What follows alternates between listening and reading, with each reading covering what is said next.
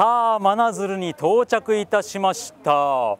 実はですね今真鶴町全体で真鶴半島営み美術館プロジェクトというのをやってらっしゃるそうなんですよ。なんかこの町全体をアートに見立てたプロジェクトだということなんですけれどもちょっと今僕まだ足がないんで観光協会の方でレンタサイクルを貸してくださるそうなんでちょっとそれをまず借りていろいろ真鶴町回ってみたいと思います。それでは参りましょう。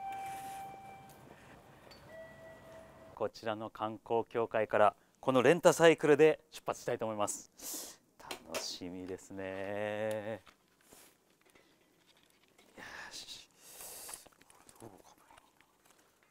いい天気だな。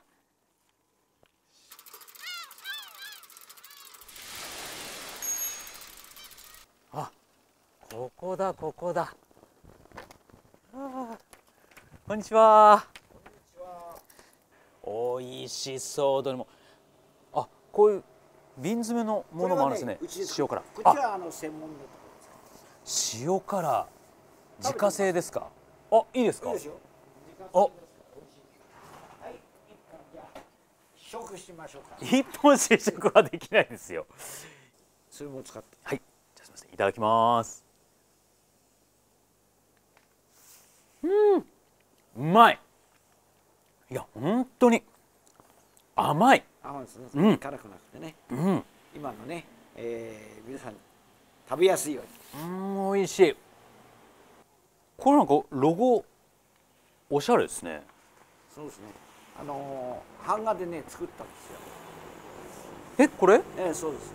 どどなたが？私がええこれご主人の自作ですか？このそうもうそうおおこれえ全部そう版画でね版画なの？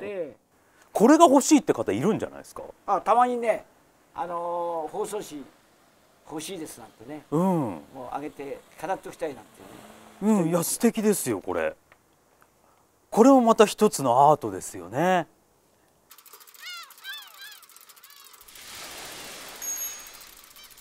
こちらおかげカフェさんでよろしいですか、はい、み民宿なんですね。はい、民宿もやっております。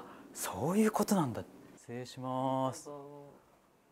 ああこういう感じなんだ。うわ落ち着くこれ絶対。これよっちゃんのふわとろオムライス。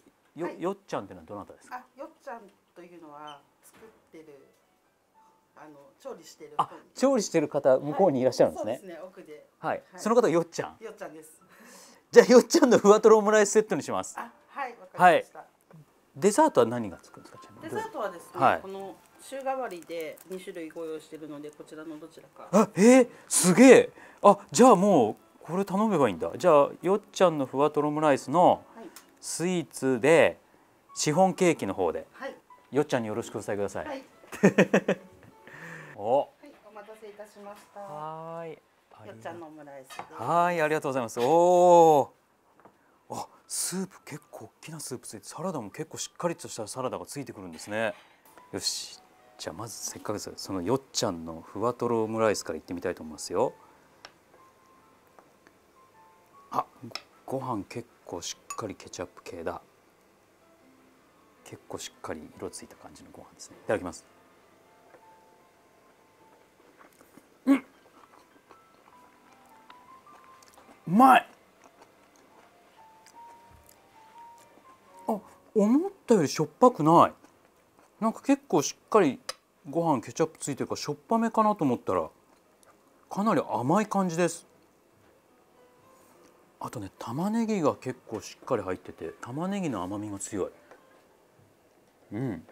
そうですね。あの結構真鶴の方が甘いものが好きだったりするので、あ。それに合わせて甘めの味付けになってます。真鶴の方は結構甘い甘いの好きですね。どちらかというと塩辛いものよりもはい。甘い甘めの味付けが好き好。えー、これだけスープもサラダもしっかりあると嬉しいですね。あのー家族で経営してるんですけど、はいみんな食いしん坊なので。ああ。今のところ店員さん見ると食いしん坊だろうなっていうのは。ですよね。お待たせいたしました。はーい茶のシフォンケーキ。おお。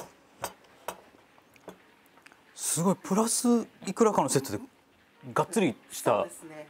はい。セットケーキじゃなくちゃんとしたの出てきちゃうんですね、はいすげえいただきますあ大人ほうじ茶のシフォンといい苦味がそうん。もうほうじ茶の香り鼻から抜ける感じですね。あ美味しい。あほうじ茶と合うんだ。意外とコーヒーとか。ねはい。合いますね。まあ同じ香味系というか、はだからですかね。合う合う合う。美味しい。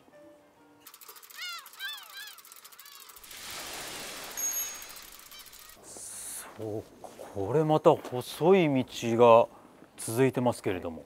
こちらはですね、あの真鶴の瀬戸道と言われている道でして、はい。であのまあご覧の通り海がですねすぐあこちらに見えるんですが、あはい。あの一応ここは生活道という形で、あとは昔ですね津波とかあった場合、まあ、ここの道を使ってまあ上に逃げていくというですね、あの生活道になっております。ちょっと行ってみていいですか、はい。石垣。当はい。これはあのこの石垣のこの環境っていうのがですね、まあはいよく真鶴至る所で見えるんですけれど、はい。まあ、こういったですね、まあ、こういう植生ですね。豊かな植生とかを、はい。あの真鶴ではですね美の基準といってですね、美の基準。はい。はい。あのまちづくり条例で定めてまして、はい。でそこにはまあ景観としてまあ尺度だったりとか、まあ、この場所であったりとか、はい。あとはこう装飾であったりうん。あとは、まあ、この調和とか、はい。あのまあ、いろいろ8つのですね、はい。定義がありまして、それを大切にしております。あー。あだからもうこのまさにこの石垣全体もそうだし、そうってことなんですね。まあ今でもそうなんですけれど、ね日当たってでもね元気にいっぱいに育ってますね。まあ可愛らしい美しいっていう部分をちゃんと文章にまとめてはい。定義したっていうのがあの真鶴の美の基準としてですね、まあ、いろいろと今注目されております。でこういった昔ながらの景観が守られているとそうですね。いうことなんですね。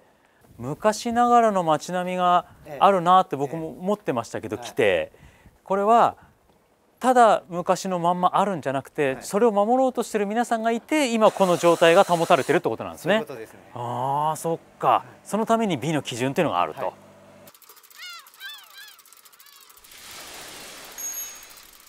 ああここだここだ。松本農園さん。おおすごい。綺麗ここすごいビューだな見事ですね。はあこういった場所にあるんだ松本農園さん。さあどんな場所か楽しみですね。松本農園の松本さんです。よろしくお願いいたします。いろいろご案内していただこうと思うんですけれども、はい。え松本さん伺ったら5代目、はい、五代目になります。えってことはこの松本農園さん自体はどれくらいの歴史があるんですか？明治の20年ぐらいからまあここで始はあめたらしいんですでも今はもうそのみかん農園だけではなくて、、はい。ろいろやってらっしゃるんですよね？そうですね。まあいろいろまあちょこちょこえっ、とドッグランとかマウンテンバイク、うんあとみかん狩り、はい。あとまあえー、ブリーダーなども。あ、そうなんですか、はい。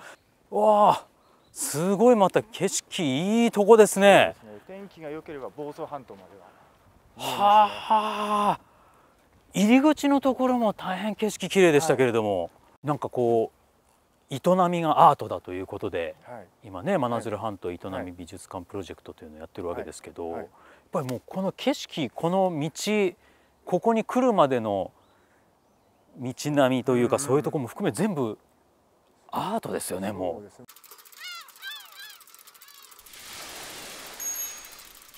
というわけで今日一日真鶴を自転車で回らさせていただいたんですけれどももうやっぱり自転車で巡るとこう道の作りとかがこう感じられてもうまずその細い曲がりくねった道の感じそして下って降りていって見える海道そのもの登っていく時の街並みもう全てがこうアートになっていてそれがもうずっと昔から変わらない景色であるっていう良さ。もう本当に営み生活そのものがアートになっているんだなというふうなことを本当に感じました。本当にここでしか見られない昔のままの景色。それをこれはもう映画のセットみたいなアートなんだっていうスイッチで見るともう一気に全部がアートになりますから。ぜひとも若い方にも真鶴いらしていただきたいなと思いました。僕も今日一日楽しかったです。まだまだ回り足りないところありますから今後もまたプライベートで来て楽しみたいと思います。ありがとうございました。